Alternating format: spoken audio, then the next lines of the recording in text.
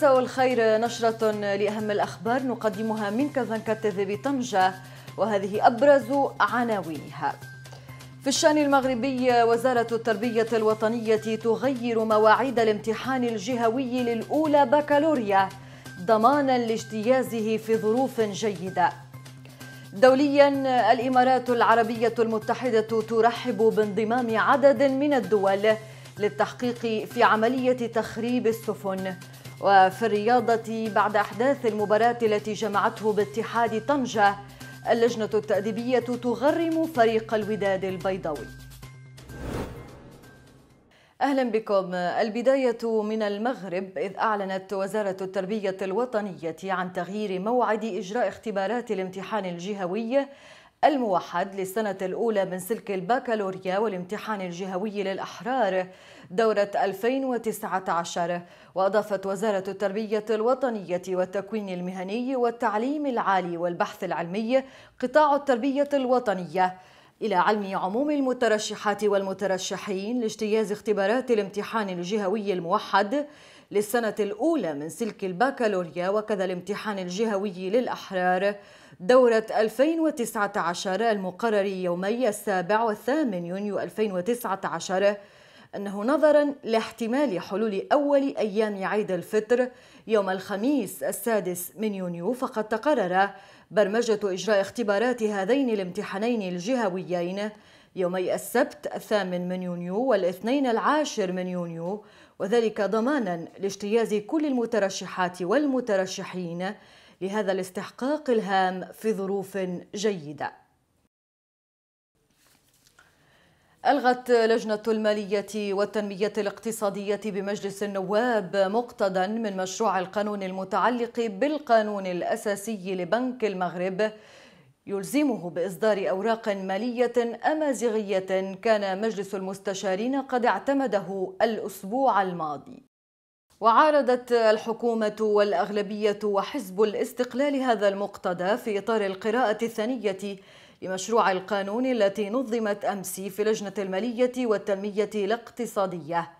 وساند ضرورة إلزام بنك المغرب بإصدار أوراق مالية أمازيغية كل من برلماني فيدرالية اليسار الديمقراطي وبرلماني حزب الأصالة والمعاصرة.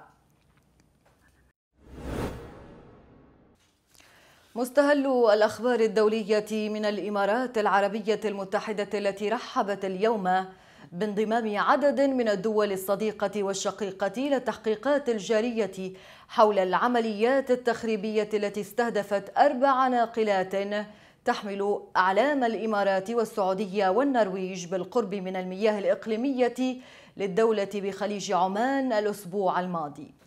وقالت وزارة الخارجية والتعاون الدولي في بيان لها إن حرص الشركاء الدوليين على المشاركة في التحقيقات وتضافر الجهود يدعم الحيادية والشفافية في الوصول إلى النتائج المطلوبة وهو ما تتطلع إليه دولة الإمارات من وراء هذا التحقيق. وأضافت الوزارة أن التحقيقات المشتركة تأتي لتؤكد حرص المجتمع الدولي على حماية أمن الملاحة البحرية وحركة التجارة الدولية وسلامة إمدادات الطاقة. كما أكدت أنه ومع انضمام الدول المشاركة سيأخذ التحقيق مجراه وسيستغرق ما يلزم من الوقت وفق ما ذكرت وكالة الأنباء الإماراتية. دوليا دائما أعلنت رئيسة الوزراء البريطانية تيريزا ماي أمس أمام البرلمان إمكانية تنظيم استفتاء ثان بشأن بريكزيت والبقاء في اتحاد جمركي مؤقت مع الاتحاد الأوروبي. وقالت ماي للنواب إنها الفرصة الأخيرة لإيجاد وسيلة تلبي رغبة البريطانيين الذين صوتوا بنسبة 52% لصالح الخروج من الاتحاد.